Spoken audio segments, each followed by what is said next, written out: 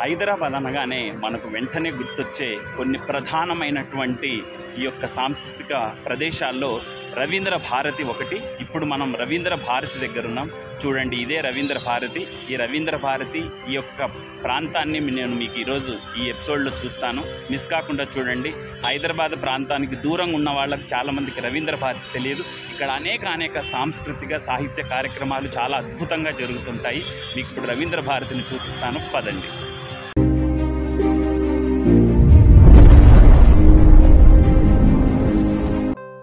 చూస్తున్నారు కదండి. ఇదే రవీంద్ర భారతి యొక్క ప్రధాన ముఖద్వారము అని చెప్పవచ్చు. సువిశాలమైనటువంటి ప్రాంగణం ఉంటుందండి. చూస్తున్నారు కదా. అక్కడ కింద కార్యక్రమం ఫస్ట్ అంటే గ్రౌండ్ ఫ్లోర్లో ఒక మంచి ఆడిటోరియం ఉంటుందండి. అందులో అద్భుతమైనటువంటి కార్యక్రమాలు ఎన్నో చేస్తూ ఉన్నారు. మేము నిన్న వెళ్ళినప్పుడు నిన్న ఆడిషన్కి వెళ్ళామండి. ఒక సినిమా యొక్క ఆడిషన్కు. ఆడిషన్కు వెళ్ళినప్పుడు అక్కడ కింద అంటే ఈ రవీంద్ర భారతి మెయిన్ ఆడిటోరియంలో ఈ చూస్తున్నారు కదండి అమ్మాయిల యొక్క సాంస్కృతిక కార్యక్రమాలు నృత్య ప్రదర్శనలు. సంప్రదాయ నృత్యాలకు సంబంధించిన కార్యక్రమాలు జరుగుతున్నాయి. ఇక్కడ అమ్మాయిలు ప్రాక్టీస్ చేస్తున్నారు చూడండి. అలా డ్యాన్స్ చేస్తున్నారు. ఇక్కడ మీరు గమనించినట్లయితే ఈ ముందు భాగము అటు ఇటు వైపు ఈ యొక్క స్క్రాప్ స్కల్ప్చర్ చూడండి ఎంత అద్భుతంగా ఉన్నాయో మీరు గమనిస్తున్నారు కదా. రకరకాల స్క్రాప్ స్కల్ప్చర్ చూడండి.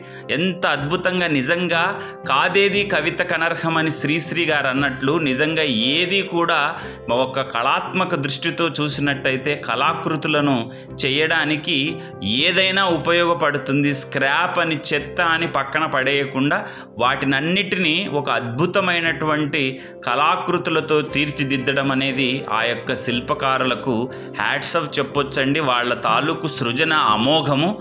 చూస్తున్నారు కదా రకరకాల బొమ్మలు ఉన్నాయి గమనించారు.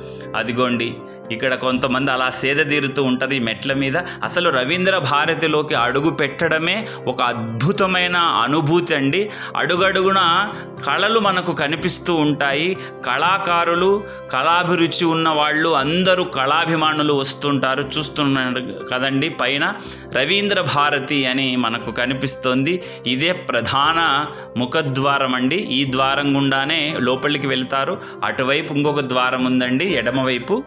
ఎక్కువ మంది ఇదే ద్వారం గుండా వెళ్తుంటారు. ఎందుకంటే ప్రధానమైనటువంటి ఆడిటోరియం కిందనే ఉంటుంది. రకరకాల కార్యక్రమాలు పెద్ద ఆడిటోరియం అండి. చాలామంది కూర్చోవడానికి వీలుగా ఉంటుంది. నేను అది కూడా మీకు తర్వాత చూపిస్తాను. అయితే అలాగే ఫస్ట్ ఫ్లోరు సెకండ్ ఫ్లోర్లో కూడా ఉంటుందండి. అదిగో తనే మా మిత్రుడు ద్వారకానాథ్ గారండి. తను కూడా ఆర్టిస్టే. తను కూడా నాతో పాటు ఆడిట్ ఆడిషన్కి వచ్చారండి. సినిమా ఆడిషన్కు. ఇది చూస్తున్నారు కదా అమ్మాయిలు ఫోటోలు దిగుతున్నారు ఆ మెట్ల మీద కూర్చొని చాలా ఇదిగా ఉంటుందండి. వచ్చిపోయే వాళ్ళతో కళాకారులతో కళాభిమానులతో ఎంతో సందడి సందడిగా ఉంటుంది. ఇది ఫౌంటైన్ అండి ఆ వేయలేదు కాబట్టి నీళ్ళు రాలేదు. అద్భుతంగా ఆ ముఖద్వారానికి ప్రధాన ముఖద్వారానికి ఎదురుగా ఉంటుంది. చూస్తున్నారు కదా ఇక్కడ సైడ్ కూడా రెండు వైపులా ఈ ఇందాక మీరు చూశారు కదా అటు సైపు స్క్రాప్ స్కల్ప్చరు ఇటువైపు కూడా ఉందండి. అదిగో ఇప్పుడు మనం ఆ స్క్రాప్ స్కల్ప్చర్ ఆ యొక్క కళాకృతులను చూడడానికి వెళ్తున్నాం. చూస్తున్నారు కదా ఒక అమ్మాయి ఎలా సరదాగా అలాగా రౌండ్గా తిరుగుతుంది చూడండి ఇక్కడ కూడా ఎంత అద్భుతమైనటువంటి కళాకృతులు ఉన్నాయో. అదిగో చూడండి మనం కొన్నిటిని అయి చెత్త ఇది పనికిరాదని చెప్పేసి పని పడేస్తుంటాం పక్కకు. ఇనుప వస్తువులు కావచ్చు ఇంకేమైనా. కానీ వాటన్నిటిని కళా దృష్టితో కళా కోణంలో గనక చూస్తే అద్భుతమైనటువంటి ఆకృతులను తీర్చిదిద్దవచ్చు. చూడండి ఎన్ని కళాకృతులు ఎంత అద్భుతంగా ఉన్నాయి. చూస్తున్నారు కదా? చూడండి ఇది చార్మినార్. ఎంత బాగా రూపొందించారో కదా చార్మినార్ యొక్క కళాకృతిని. ఇక్కడ చూడండి ఇక్కడ కూడా రెండు కళాకృతులు ఉన్నాయి కోయిల కూర్చున్నట్టుగా ఉంది చూడండి అక్కడ సేమ్ అలాగే ఉంది చూడి. ఆహా అద్భుతం అండి అసలు ఆ కళాకారులకు ఎన్నిసార్లు హ్యాట్స్ చెప్పినా తక్కువే. చూడండి ఒక్కొక్కటి ఎంత అద్భుతంగా తీర్చిదిద్దారో. చూడండి ఈ చార్మినార్ చూడండి ఎంత అద్భుతంగా తీర్చిదిద్దారో. అదిగో కళాకృతులు ఎంత బాగా ఉన్నాయో చూడండి అదో. మా ద్వారకానాథ్ గారు పరిశీలిస్తున్నారు వాటిని పట్టుకొని ఎలా ఉన్నాయి ఏంటి అన్నట్టు. చూస్తున్నారు కదా? చాలా ఉన్నాయి చూడండి అక్కడ కూడా ఉన్నాయి చూడండి. అదిగో. చూడండి. అప్ డౌన్ అన్నట్టుగా ఆడుకుంటారు కదా పిల్లలు అలా అప్ డౌన్ అన్నట్టుగా. చూడండి ఆ గొలుసులు జుట్టులాగా ఎలా తయారు చేశారో చూడండి. ఎంత బాగా ఉందో అటువైపు ఇటువైపు రెండు వైపులా అండి. అదిగో. చాలామంది ఇక్కడ వచ్చి ఫోటోలు దిగుతూ ఉంటారండి. ఎందుకంటే చూడండి ఇది కూడా ఎంత బాగుంది. ప్రతి కళాకృతిని కూడా చాలా చక్కగా తీర్చిదిద్దారండి. అదిగో చూస్తున్నారు కదా? ఇక్కడ చూడండి.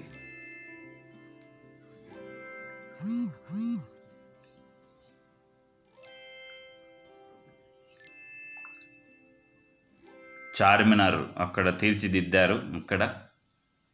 ఇది కూడా చూడండి. ఎంత బొమ్మ చూడండి. అసలు అంటే ఆ చైన్లను కూడా నిజంగా వాళ్ళు ఆ చైన్స్ని జుట్టులాగా తయారు చేయడం అనేది గొప్ప విషయం కదా సైకిల్ చైన్లతో. చాలా ఇదిగా ఉంటుంది. అది ఎవరో ఆ కుర్రాడు దాన్ని పట్టుకొని చూస్తున్నాడు. కొరడా ఉందండి అది. అంటే పోతరాజు గెటప్లో అనిపించింది నాకు. అదిగో ఈ అమ్మాయి ఇందాక ఫోటోలు దిగింది. ఇక్కడ మీరు గమనించుంటారు. దీన్ని చాలామంది ఇది గుర్తుపట్టగలుగుతారు. కాకతీయుల కళా తోరణం అని నేను అనుకుంటున్నాను. అదిగో చూడండి. కాకతీయ వైభవంకి చిహ్నంగా అదో కాకతీయ కళాతోరణమే. చూడండి ఎంత బాగుందో. ఎంత బాగా తీర్చిదిద్దారో. అందులో నుంచి చూస్తుంటే మనకు ఎదురుగా చార్మినార్ కనిపిస్తుంది కదా. ఎంత అద్భుతంగా ఇది చేశారు. అక్కడ నుంచి ఇంకా ఆడిషన్ లేట్ అవుతుందంటే పక్కనే ఉన్నటువంటి హోటల్కి వెళ్ళి జస్ట్ స్లైట్గా దోశ తిన్నాము ఇద్దరము నేను మా ఫ్రెండ్ ద్వారకానాథ్ గారు. అదిగో ఇటున్న దోశ నాదే ఇంకా నేను తినలేదు. తను తింటున్నారు. అదిగో ఆ హోటల్లో దోశ అండి. చాలా బాగుంది. దోశ చట్నీ కానీ సాంబార్ కానీ బాగుంది. ఎస్ అంటే ఏదో ఒకటి కొంచెం స్టఫ్ ఉండాలి కదా మళ్ళీ ఆడిషన్ అయిపోయేసరికి ఐదో ఆరు అయిపోతుంది అప్పటి వరకు ఆకలేస్తుంటుంది కదా. అందుకని వాళ్ళు కూడా చెప్పారు. వెళ్ళండి మీరు వెళ్ళి తినేసి రండి అని అక్కడ హోటల్కి వెళ్ళి తిన్నామండి. కాస్త కడుపు నిండింది అనుకోండి కొంత. చూస్తున్నారు కదా? మళ్ళీ అక్కడ హోటల్లో నుంచి తిని మళ్ళీ లోపలికి వచ్చామండి. ఇక్కడ మీరు గమనిస్తున్నారు కదా ఇక్కడ ఆరు బయట ఆడిటోరియం అండి. ఇక్కడ ఒక ప్రాంగణం ఇక్కడ కొంతమంది కుర్రాళ్ళు. అంటే ఇక్కడ బాగా రకరకాల అయినటువంటి ఈ తెలంగాణకు సంబంధించినటువంటి ఎన్నెన్నో కళా విన్యాసాలు వాటికి కానీ ఇంకా రంగస్థలానికి సంబంధించి కానీ ఎన్నెన్నో కార్యక్రమాలు చేస్తూ ఉంటారండి ఇక్కడ. రిహార్సల్ సేవ చేస్తున్నారు ఇందాక మనం చూసినప్పుడు. ఆ కర్రలు పట్టుకొని కొంతమంది కుర్రాళ్ళు మా ద్వారకనాథ్ గారు బాగా ఎంజాయ్ చేశారు నిన్న. అక్కడ వచ్చి అదిగో చూడండి మళ్ళీ లోపలికి ఇందాక వచ్చినట్టుగానే ఎంట్రన్స్. అదిగో గమనిస్తున్నారు కదా.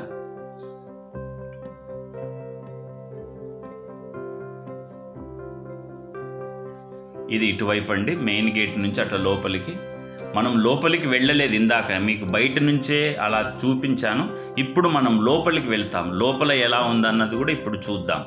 అదిగో మెట్లెక్కి పైకి వెళ్తున్నాము. ఎంతోమంది అమ్మాయిలండి. కింద ఆడిటోరియంలో చాలా అద్భుతమైనటువంటి ఈ నృత్య విభావరి జరుగుతోంది. అసలు రెండు కళ్ళు సరిపోలేదు. అమ్మాయిలు ఎంతమంది అసలు ఎంత అందంగా అద్భుతంగా వాళ్ళు అలంకరణ ఉన్న విధానం కానీ వాళ్ళ తాలూకు అభినయం కానీ మాటలు లేవమ్మా. చిన్నపిల్లలైనా నిజంగా ఎంత అద్భుతంగా మీరు కలామ తల్లి ముద్దు బిడ్డలు అనుకోవచ్చు. అలా ఉన్నారు. అదిగో పిల్లలు తింటున్నారు. వాళ్ళ పేరెంట్స్ కూడా వచ్చారు. వాళ్ళు ఏమో తినిపిస్తున్నారు. రవీంద్రనాథ్ భారతి.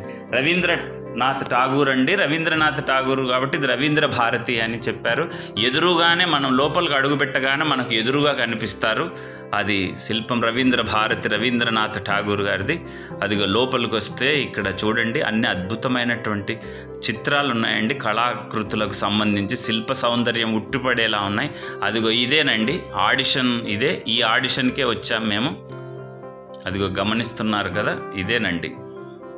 ఇంద్రగంటి మోహన్ కృష్ణ గారికి సంబంధించి ప్రెజెంటెడ్ బై అని ఉంది దాంట్లో మేము ఆడిషన్ ఇచ్చామండి. అదిగో చూడండి ఎంత అద్భుతమైనటువంటి శిల్ప సౌందర్యము వాటి తాలూకు చిత్రాలండి ఇవన్నీ. ఎగ్జిబిషన్ అంటారు కదా అలాగనమాట. ఆ శిల్పాల తాలూకు వివిధ ప్రాంతాలు తెలంగాణ ప్రాంతానికి సంబంధించి వాటి తాలూకు శిల్పాలని ఇలా ఎగ్జిబిషన్ లాగా పెట్టారండి. చూడండి ఎంత బాగుందో.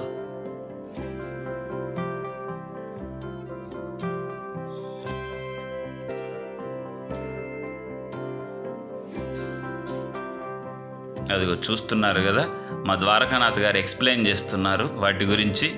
నిజంగా చాలా బాగా అనిపించిందండి. ప్రతి వాళ్ళు ఇవన్నీ అదిగో చూడండి ఇక్కడ కూడా చూడండి. అంటే నాకు తెలిసి అటువైపు రామప్ప అవి ఉన్నాయి కదండి. ఆ శిల్ప సౌందర్యం అంతా అంటే కోటలు కట్టడాలు రాజప్రాసాదాల దగ్గర ఉన్నటువంటి ఆ యొక్క సా వాటిని ఫోటోలుగా చేశారండి ఎంత బాగా. అదే ఇక్కడ మీరు చూస్తున్నారు కదండి సినిమాలు వేసేటప్పుడు అప్పట్లో ప్రొజెక్టర్ ఉండేది కదా అదిగో చూడండి ఆ ప్రొజెక్టరే సినిమా తాలూకు. రెండు అటు ఇటు రెండు ప్రొజెక్టర్లు ఉన్నాయండి సినిమావి వెనక కొన్ని సినిమాకు సంబంధించిన చిత్రపటాలు మీరు గమనిస్తున్నారు. బ్లాక్ అండ్ వైట్లో అప్పటి సినిమాల తాలూకు పోస్టర్స్ అండి. చాలా బాగుంటుందండి. అసలు రవీంద్ర భారతిలోకి అడుగు పెడితే మనకు కాలం ఎలా గరిగిపోతుందో చెప్పలేమండి. ఏదో ఒక కార్యక్రమం ప్రతిరోజు జరుగుతూనే ఉంటుందండి. చాలా బాగా చేస్తూ ఉంటారు. ఈ తెలంగాణ భాషా సాంస్కృతిక శాఖ ఆధ్వర్యంలో మామిడి హరికృష్ణ గారు ఉంటారు. ఇంకా చాలామంది అక్కడ వాళ్ళందరూ ఎంతో ఇదిగా కార్యక్రమాలను రూపకల్పన కానీ మనం ఏమైనా కార్యక్రమాలు చేస్తే ఆ కార్యక్రమాలకు మనకు ఆడిటోరియం అవి ఇవ్వడం కానీ అవన్నీ చేస్తుంటారు. చూడండి ఎంత అద్భుతంగా చూస్తున్నారు కదా? ప్రతి ఒక్కటి వాళ్ళు చిత్రాలుగా ఇలా ఎగ్జిబిషన్ లాగా ప్రదర్శనశాలలాగా తయారు చేశారు ఇక్కడ. ఈ ప్రాంతాన్ని ఒక ప్రదర్శనశాలగా రూపొందించారు. మనం ఇక్కడ అన్నీ చూడొచ్చు. చూడండి రకరకాలవి. అదిగో. చెట్టు దగ్గర నుంచి పుట్ట దగ్గర నుంచి శిల్పం దగ్గర నుంచి ప్రతిదీ మనకి ఇక్కడ నయన మనోహరంగా కనిపిస్తూ ఉంది. అదిగో. చూడండి ఇక్కడ కూడా నందీశ్వరుడు. ఎంత బాగున్నాయండి చూడండి లొకేషన్స్ ప్రతి లొకేషన్. ఒక్కొక్కటి ఒక్కొక్కటి దానికి కింద పేరు రాసింటే బాగుండేది. వాళ్ళు పేరు ఏం లేదు ఒక్కొక్క దాని కింద ఇది పలానాది పలానాదని రాస్తుంటారు. అయిపోయిందండి అక్కడి నుంచి అదో ఇదండి. ఆడిషన్కు సినిమా తాలూకు ఆడిషన్కు చాలామంది వచ్చారండి. నాకు తెలిసి రెండు వందల మంది పైనే వచ్చేవాళ్ళు వస్తున్నారు ఇది గమనిస్తున్నారు కదండి అదిగో. నేనున్నాను నా పక్కన ఒక ఆర్టిస్ట్ ఉన్నారు. అదిగో చాలామంది వచ్చి కూర్చున్నారు. యాక్చువల్లీ ఇది పైడి జయరాజ్ ఆడిటోరియం అండి. ఇక్కడ ఎక్కువ ఏం చేస్తారంటే ఈ షార్ట్ ఫిల్మ్లు సినిమాలు వీటికి సంబంధించి ఇక్కడ ప్రదర్శన ఏర్పాటు చేస్తుంటారు. ప్రతి శని ఆదివారాల్లో ఎన్నో మంచి మంచి సినిమాలు ఇక్కడ వేస్తుంటారు. అలాగే షార్ట్ ఫిలిమ్స్ కూడా ఇక్కడ వేయడం జరుగుతుంది. మేము కూడా గతంలో ఇస్త్రీ పెట్టే అని షార్ట్ ఫిలిం నేను రూపొందించినప్పుడు రెండేళ్ళ క్రితం అప్పుడు ఇక్కడే రవీంద్ర భారతిలో ఈ పైడి జయరాజు ఈ హాల్లోనే వేయడం. ఇది ప్రివ్యూ థియేటర్ అండి. అది ఒక బోర్డు ఉంది. ఆ ప్రివ్యూ థియేటర్ వెనకనే ఆడిషన్ జరుగుతున్నాయి. ఇదండి మెయిన్ హాల్ ఆడిటోరియం.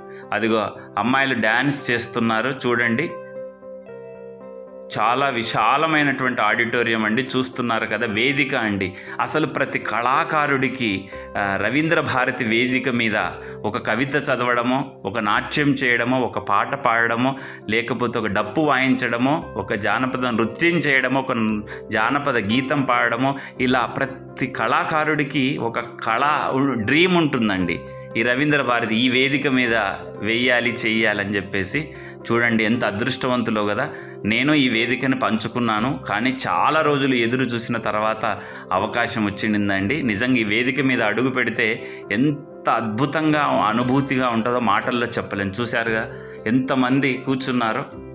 ఇదంతా ఆడిటోరియం అండి. చాలా బాగుంటుంది ప్రశాంతంగా ఉంటుంది చల్లని ఇట్లా గాలి ఏసీ గాలి తగులుతూ ఉంటుంది. అదిగో చూడండి ఎంతమంది ఆ నృత్యాలు నిజంగా సంప్రదాయ నృత్యాల్లో ఉన్నటువంటి ఆ యొక్క భావన మాటల్లో చెప్పలేనిదండి. అవ్యక్తము నిజంగా వాళ్ళ యొక్క అలంకరణలు అవన్నీ అలంకరించుకొని ఆ డ్రెస్ వేసుకొని మేకప్ వేసుకొని అలా ఎదురు చూస్తూ ఆ వేదిక మీద అంత ఇదిగా నర్తించినప్పుడు ఎదురుగా కూర్చున్న వాళ్ళు చప్పట్లు కొట్టాలి కదండి. బాగా చప్పట్లు కొడితేనే కదా కళాకారులకు కావాల్సింది ఏముంటుంది? చప్పట్లేనండి.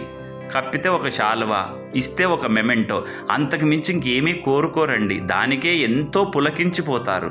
అందుకే కళాకారుడిగా పుట్టడం అనేది జన్మధన్యతకు చెందినట్టుగా అన్న భావన చాలా మందిలో కలుగుతుంది నేను కూడా దాన్ని విశ్వసిస్తానండి. ఎందుకంటే ఎవరైనా మీరు చాలా బాగా యాక్ట్ చేశారనో మీరు చాలా బాగా రాశారనో ఒక మెచ్చుకోలు ఒక ప్రశంసాపూర్వకమైనటువంటి మాట మనల్ని అన్నప్పుడు మన మనసు ఆనందంతో ఎంత ఉప్పొంగిపోతుందండి? ఇప్పుడు ఈ అమ్మాయిలు చూడండి ఎంత అద్భుతంగా డ్యాన్స్ చేస్తున్నారు ఎంత ఇదిగా నేర్చుకుని ఉంటారు అందరూ ఒకే రకంగా చేయాలి అని అంటే వాళ్ళందరూ ఎంత ఏకాగ్రతతో ఎంత స్థిర చిత్తంతో ఎంత మక్కువతో నేర్చుకుని ఉంటారండి కళని నాట్యాన్ని. చూస్తున్నారు కదా ఆ వేదిక ఇంతమంది చూడొచ్చండి ఆడిటోరియం అంత బాగుంది మీరు గమనిస్తూ ఉన్నారు. ఇక్కడ బయట అండి బయటకు వచ్చిన తర్వాత ఈ గోడ మీద వేశారండి పెయింట్.